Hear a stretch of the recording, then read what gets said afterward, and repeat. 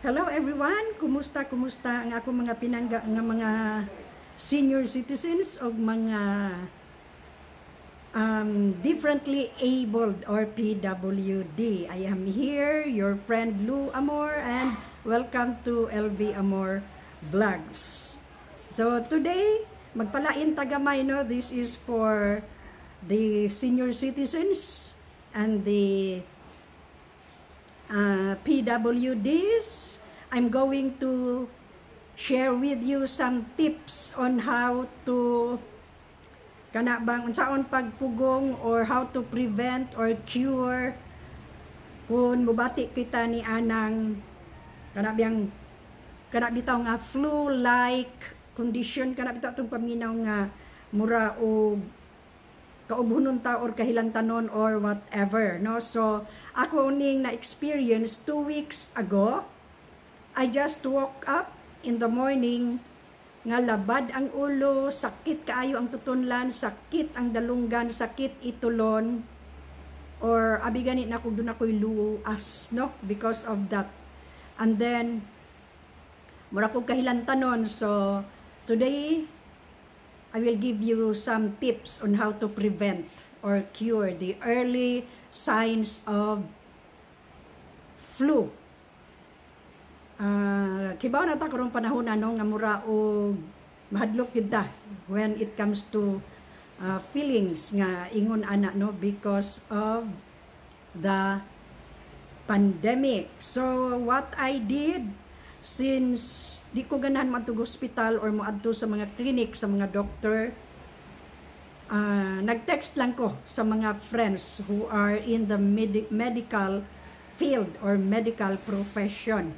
So, muni ilang gihatag nako for kanang sore throat, kanang sakit gid ang tutunlan and then stuffy nose, pingot or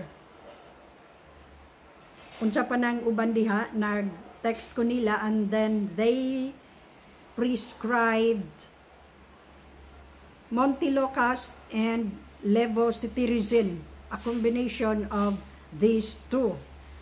Uh, nalimtan na nakog dala, no? Very effective. So, levocetirizine plus montelocast, no? Uh, very effective na ulian gyudayon ang ang kasakit sa akong tutunlan and then uh, nawalang akong ubo hastang akong sipon ang stuffy nose. No dayon kibaw na ta magtingot-tingot dayon. So mautong tuwa siya uh, a combination of levocetirizine and montelocast no? Mga generic name ka, name kana sila. And then lain pa nga gihatag kanako this one this one very effective also uh, this comes in three flavors lemon honey mint and strawberry no so very effective food kaayo siya So, dali lang kaayo yung ko na huwasan. So, mora kadto. And then, for asthma attack, because mikuyog po ang akong asthma ato nga panahuna, this one. This one. A very effective puff. Uh, one puff, marilig dayon ang kanabitang lisod iginhawa. Uh, this is for the lungs. Kanang paluag, no? Kung gahuot ang ginhawa, maglisod ta ginhawa, uh, just one puff. So, actually, this is my maintenance as kaning asthmatic yug ko, no? And, lain pa nga mga first aid uh, home remedy kung mag-arat ang tutunlan, I am using this one. This one. I-gargle na ko ni together with this one, the honey, ako ning i ako ning i-mix kaning duha. So, kanang igo-igo lang pod no nga ma makaya because apple cider is really um, maisog. So, i-gargle na ko, no? And then, another, akong i-alternate pod after mga 3 hours, this one, oral antiseptic no ako lang gipang barahan ang mga brand because uh, brand do na mo'y brand so akong gibarahan no so mao na siya ako kung i-alternate ko na siya and then warm water and salt. A very good home remedy for sore throat.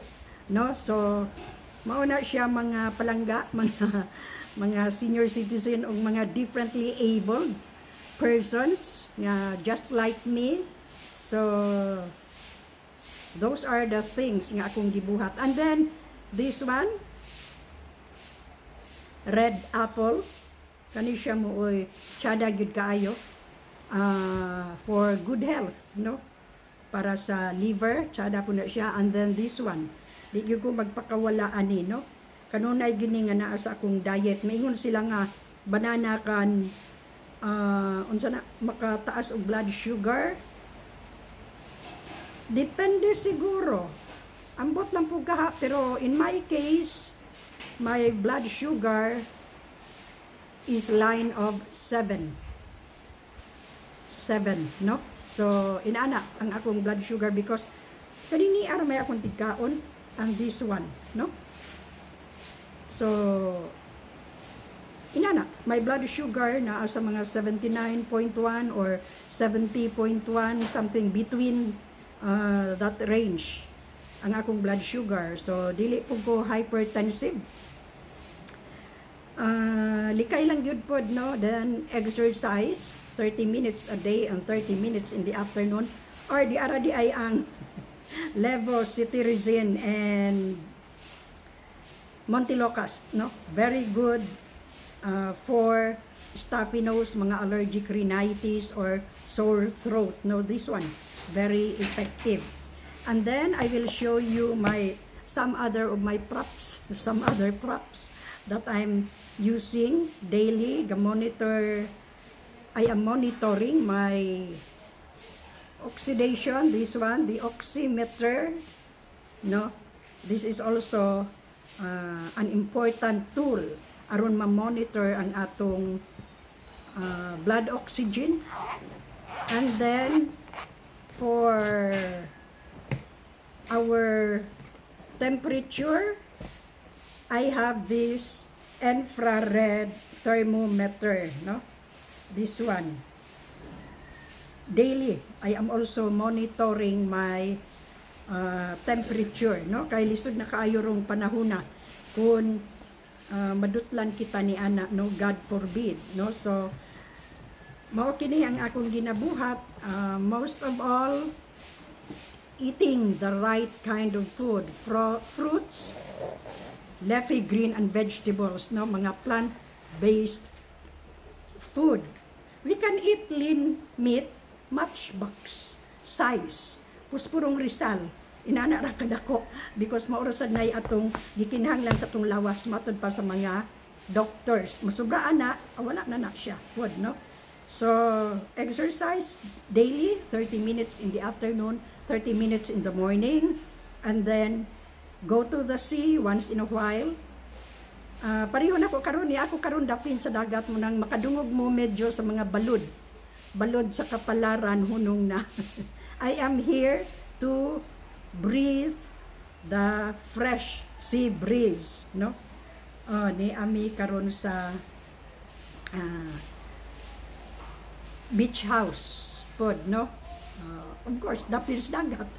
Uh, dako kayo ang kuan oh, dako kayo ang sandbar, nag-sandbar ang dagat karon diri sa amo ang tungod. Ambot lang sa uban, no? Pero lapad kayo ang sandbar. So, mo lang kadto mga palangga nako mga senior citizens, ang mga differently abled who are Bisaya speaking, no?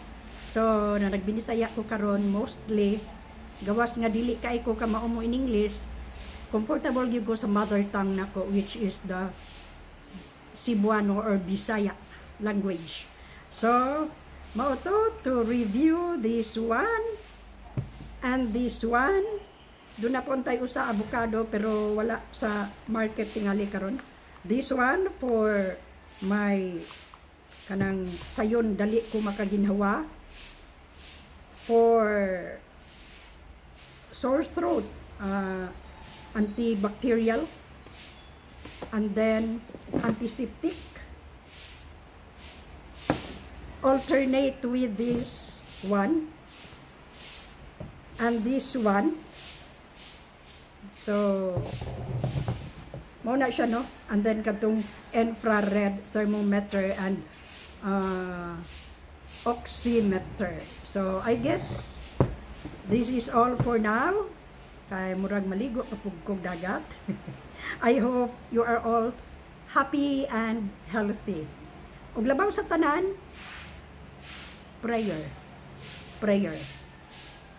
Pinaka mabisa nga um, kayuhan or medicine alang sa atong kapiskay sa panglawas. So, until the next time around,